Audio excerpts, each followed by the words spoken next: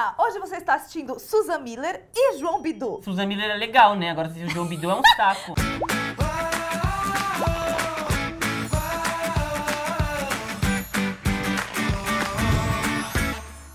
A verdade é que hoje a gente vai falar sobre astrologia. A gente não só vai falar sobre astrologia, a gente vai falar de um assunto muito sério e importante chamado bullying, Bullying astrológico. Bom, e já que o assunto é bullying astrológico, a gente vai falar mal de todos os signos hoje, exceto o Inclusive meu. os nossos.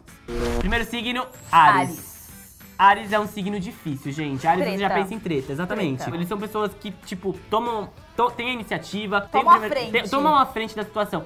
Só que eles querem tomar a frente da, da situação o tempo todo. E depois de tomar a frente da situação o tempo todo, eles cobram das outras pessoas que tomem a frente da situação, mesmo ele querendo tomar sempre a frente da situação. Isso e não é revoltante? cutucam. Cutucam. Fogosos. Mas o sexo é ótimo, viu, É gente? verdade. Touro.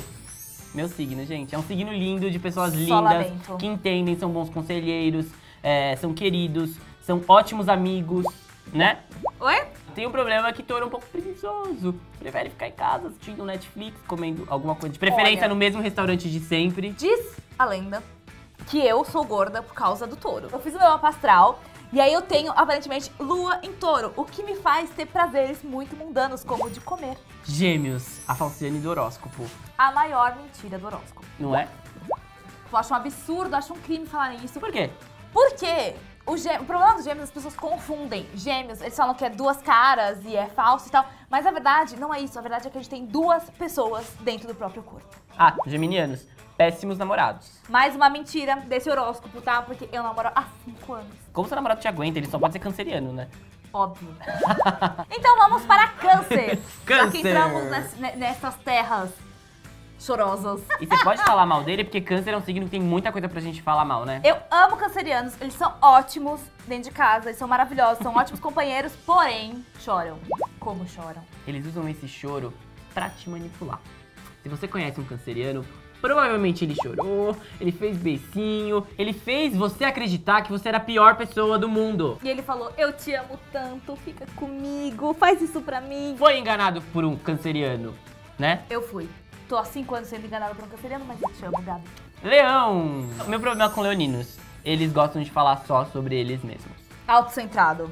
É, é tanta concentração que eles se concentram em si mesmo. Tem uma música pra leonino é Luz na passarela que lá vem ela. Mas uma dica, é muito fácil manipular leão. É só você fazer acredi- ele acreditar que ele é a estrela do lugar. Ou você quer levar ele pra aquela festa horrorosa, que você sabe que ele não vai querer, e você fala, gente, tá todo mundo te esperando lá. Eles vão adorar que você vá. Virgem. É o signo mais cri-cri do zodíaco.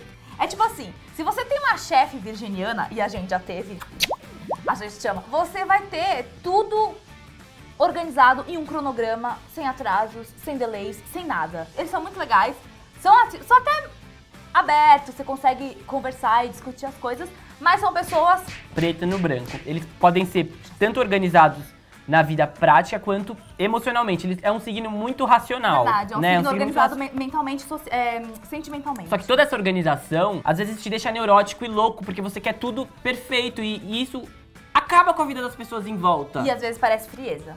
Eles são frios. Libra. É o signo da dúvida, mas também é o signo mais cheiroso do horóscopo. E Gente, o mais bonito, gente, mais não bonito. tem um libriano que não seja charmoso. É uma verdade. Ele sabe combinar aquela, aquele blazer com, a- com, a- com aquela.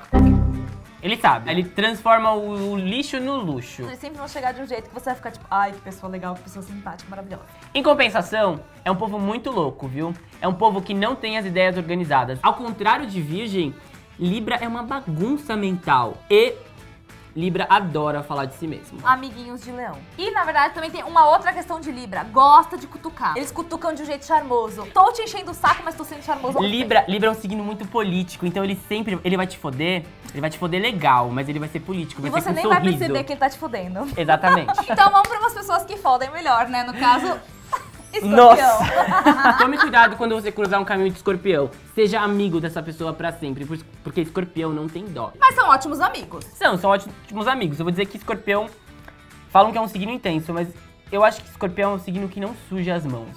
Ele não se envolve demais. Ele pode ser seu amigo. Polêmica. Ah, não, é verdade. Ele não Mas quer ser ele tá afetado lá. por isso. Ele Ele, tá tá, lá ele tá você. sempre, ele é muito fiel. E essa fidelidade, fidelidade também pesa um pouco nos relacionamentos. Porque como ele se dá muito, ele exige muito de você. Eles acham que você é uma propriedade. Ele tem ciúme até do seu trabalho. Mas o sexo é ótimo, viu? Vamos. Sagitário. Sa- Sagitário. Tem dois tipos de sagitarianos. Os sagitarianos muito felizes, muito felizes e os sagitarianos muito Que pessimistas. só reclamam. O que eles têm em comum é que eles sempre vão reclamar de alguma coisa. E eles sempre têm uma língua muito afiada. Não importa que eles sejam bonzinhos, simpáticos, amorosos, carinhosos, calorosos, eles sempre vão ter aquela linguinha tipo. Sagitário também é um signo muito livre. São pessoas muito livres. Se você Gosta é uma de pe- viajar. Gosta de viajar. Se você é uma pessoa que não se dá bem com, com gente muito aventureira, blá blá blá, fuja de Sagitário. Já se você for uma geminiana que muda de ideia toda hora, são ótimos São companheiros. ótimos companheiros. Capricórnio. Vamos viajar pra Capricórnio agora. Capricórnio. Em compensação, né, depois vem um signo que é totalmente. Capricórnio é um signo injustiçado, viu, Eu Ju? acho injustiçado. As eu pessoas gosto. falam muito mal de Capricórnio, mas não acho que ele seja tão ruim assim. Ele só se preocupa mais com ele, com o dinheiro dele. Mão de vaca. Capricórnio é um signo que vai lembrar que se você pegou aquele livro emprestado e Você tá tem com você há sete anos, ele vai lembrar desse livro. E ele não vai ter pudor algum em cobrar isso de você. Não. O Capricórnio trabalhou duro demais pra ter aquilo. Então ele quer aquilo porque é dele. E ele valoriza isso. No amor, eu acho que Eles não compartilham sentimento. Exato, Eles não falam, exato, não amiga. pra fora. Se ele tem ciúme, ele nunca vai demonstrar que ele tem ciúme. É como se nada é, tivesse horri- acontecendo. é horrível, é como se você estivesse namorando com uma pedra. Sabe por que, que eu nunca namorei um capricorniano? Porque ele nunca me contou que a gente tava namorando. É frustrante. Aquário. Aquário, né, gente? É um signo moderno, de gente pra frente, de gente Mente aberta. de altos ideais, um signo humanitário. Eu acho que o problema de Aquário é que são pessoas um tanto egoístas. Bastante. Eles tendem a também se preocupar muito mais com os problemas deles do que com dos outros. E, às vezes, menosprezar o sentimento dos outros. E teimoso Muito pra teimoso. caramba. Teimoso. Não pede desculpa. Gente, de todos esses signos que a gente acabou de falar, 11, existe um que a gente não falou. Eu sei que você tá esperando, porque ele é um signo horrível. Peixes! Olha, eu tenho uma irmã que ela é pisciana com acidente de peixes. Eu amo ela de paixão. Mas, mas, é muita sensibilidade num corpo só. Gente, olha que místico. Eu acabei de falar da minha irmã e ela mandou uma mensagem. Piscianas também preveem o futuro. A verdade é que pisciana é muito, é muito, muito sentimento, assim, num- corpo só. É muita dra- muito drama. E assim, eles sempre pensam muito além. E ele é assim, tipo, você fala uma coisa, sei lá, você dá uma sugestão, fala uma, uma faz uma crítica. Eles já bolam todo um raciocínio pejorativo em cima daquilo. Do tipo, você vira pra ele e fala assim, putz, nem gostei do seu blazer. Eu amei seu blazer, tá? Aí ele já começa a pensar, ai, a Juliana não gosta do jeito que eu me visto, eu vou ter que trocar o meu armário inteiro, porque senão eu nunca vou subir na carreira. E aí eles vão me demitir, aí eu vou ficar sem emprego, e aí eu vou morar embaixo da ponte, eu não posso morar embaixo da ponte. É tanto pensamento, é tanta água, é tanta coisa que. não, não sei. Ah, ele quer ajudar o próximo. Isso é bom, isso é legal, mas isso é um saco. Na verdade, isso tudo aqui é uma brincadeira, porque a parte legal do horóscopo, além, claro, do autoconhecimento e tudo, é você fazer esse tipo de brincadeirinha. E é claro que você também não pode levar muito a sério essa história de signo e tal, porque às vezes as pessoas, assim, elas até rejeitam um date, um possível namoro, um possível encontro legal, porque o fulano é de peixes. Gente, signo é legal, é é divertido, é engraçado, é engraçado fazer bullying. Vai fazer o mapa, vai tentar se conhecer, vai que dá certo.